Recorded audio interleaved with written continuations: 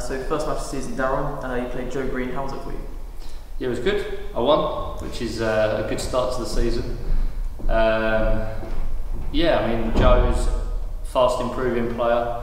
Um, probably not used to playing number one, to be honest. Uh, I don't think they had their full team out. Um, Joe normally plays three or four, so for us it's a good start because we've already got the win. Uh, George is still on court, but we're 4 0 up and a better start this season than last season.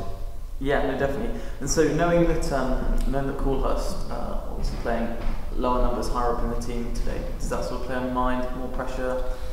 Uh, not really. I think it's it's a, it's a weird one. You have to go on there, still be professional, still um, play as if you're playing world number one, and, and do you know proper warm up, proper preparation, and um, I think that's why you know I think we've won really, fairly comfortably. Anytime you take any of the guys or ladies lightly, then you uh, you can get yourself in trouble. So um, everyone did their job, and, and that's that's why we've managed to get the win. Great. So you obviously don't play on these courts very often. How do you find the courts at Leicester? Excellent. Yeah, they're very good. Um, quite bouncy, quite warm, but I think that's a good thing, seeing as squash is a winter sport, so it's normally quite cold outside. But um, the courts are lovely and nice to play on, and it's a good atmosphere tonight. Good crowd, uh, nice and loud, which is uh, you know how we like it. Um, so no, very very enjoy, enjoyable. Great. So after the slight disappointment of last season, what are your aims going into this season in terms of obviously aiming for the playoffs and then further? Yeah, I think um, this year if we got through to the playoffs, it would be a good achievement. Uh, especially, you know, last year was our first year. Um, I think everyone at the club was buzzing from, from just having PSL here and just enjoying being a part of it.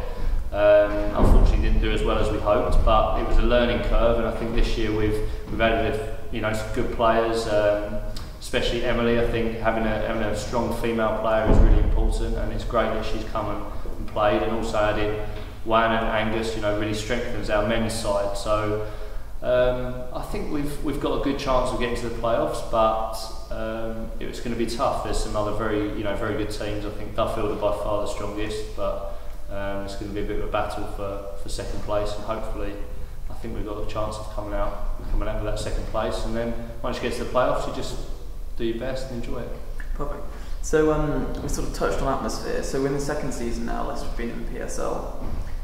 So as awareness for PSL in Leicester's growing generally, how does that sort of does that presumably boost the team morale and sort of gets you going on court? Yeah, of course, it's nice playing at home because you really want to feel that having a home fixture makes a difference. I know not all the players are from Leicester, but it's nice to have support no matter where you play. So um, I think having that crowd behind you makes a difference and can prove, you know, in a close match the difference by one or two points having a home crowd versus having an away crowd. So um, hopefully, you know, if, if, if, we have some tough matches and have some close matches, will, which will happen, hopefully the crowd, you know, will, will get behind us and uh, get, get us through.